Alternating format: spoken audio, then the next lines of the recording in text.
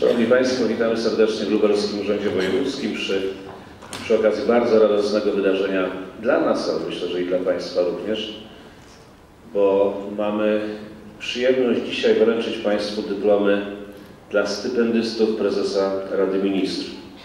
Przyjemność ogromna, dlatego że mamy do czynienia i gościmy dzisiaj na sali absolutny kwiat polskiej, lubelskiej, w sensie ogólnowojewódzkim, młodzieży, która za chwilkę, bo czas szybko biegnie, dzięki swoim talentom, umiejętnościom rozwijanym znakomicie w naszych szkołach, będzie przejmowała odpowiedzialność za losy tego województwa i tej części państwa, może także za losy całego państwa. Nie mówię tego na wyrost, tylko patrzę z ogromną nadzieją na Państwa tutaj na tej sali. My potrzebujemy, wciąż potrzebujemy odbudowy polskiej inteligencji. Przy okazji stulecia odzyskania niepodległości warto o tym mówić, że na przestrzeni tych 100 lat ta polska inteligencja została zredukowana do niemalże punktu wyjściowego.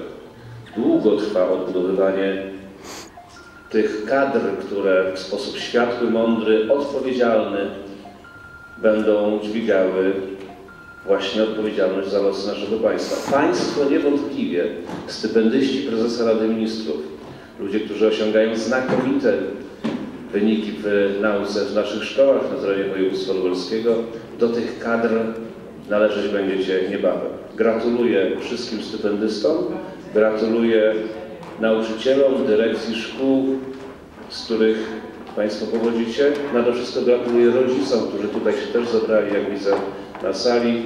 Rodzice i rodzina to jest pierwszy moment i ten podstawowy, podstawowe miejsce, w którym wychowanie, właściwe wychowanie młodych pokoleń się rozpoczyna, a też kształtowanie tak umysłów młodych ludzi, żeby byli chętni do rozwijania swoich talentów.